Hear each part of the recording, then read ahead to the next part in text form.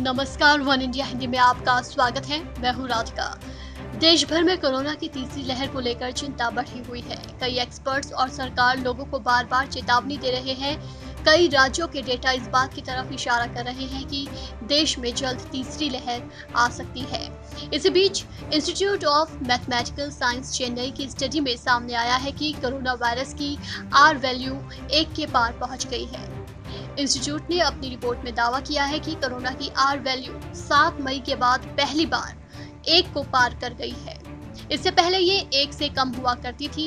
Experts का कहना है कि कोरोना की आर रेट में लगातार इजाफा हो रहा है।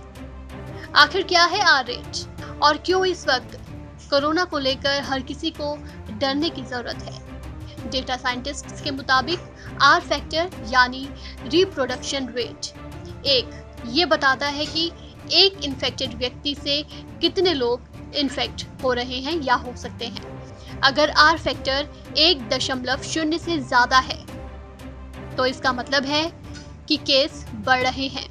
वहीं आर फैक्टर का एक दशमलव शून्य से कम होना या कम होते चले जाना केस घटने का संकेत होता है। इसे इस बात से भी समझ सकते हैं कि अगर 100 व्यक्ति इन्फेक्टेड हैं वो सौ लोगों को इन्फेक्ट करते हैं तो आर वैल्यू एक होगी। पर अगर वो अस्सी लोगों को इन्फेक्ट कर पा रहे हैं तो ये आर वैल्यू शून्य दशमलव आठ शून्य होगी।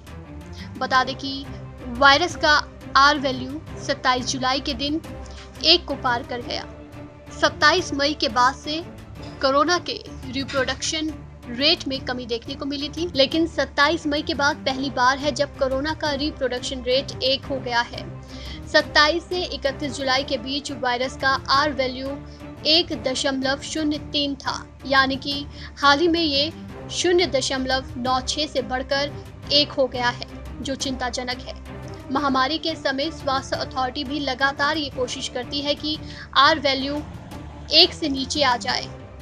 इससे ये सुनिश्चित होता है कि वायरस फैलना बंद कर देगा, क्योंकि ये महामारी को बनाए रखने के लिए ज़्यादा लोगों को संक्रमित नहीं कर सकता। राज्यों में आर वैल्यू की बात करें तो मणिपुर, अरुणाचल प्रदेश और त्रिपुरा के अलावा ज़्यादातर पूर्वोत्तर राज्यों में आर वैल्यू एक से ज़्यादा है। इसलिए विशेषज्ञों ने केरल, कर्नाटक, उत्तराखंड और हिमाचल प्रदेश में बढ़ते सक्रिय मामलों को लेकर चिंता जताई है। आंध्र प्रदेश और तेलंगाना में भी आर वैल्यू एक के करीब है। दिल्ली, चेन्नई, बेंगलुरु और कोलकाता में भी इस वक्त पर आर वैल्यू एक से ज़्यादा है। इस खबर में फ़िलहाल इतना ही। तमाम अपडेट्स के लिए बने रहिए वन इंडिया के साथ।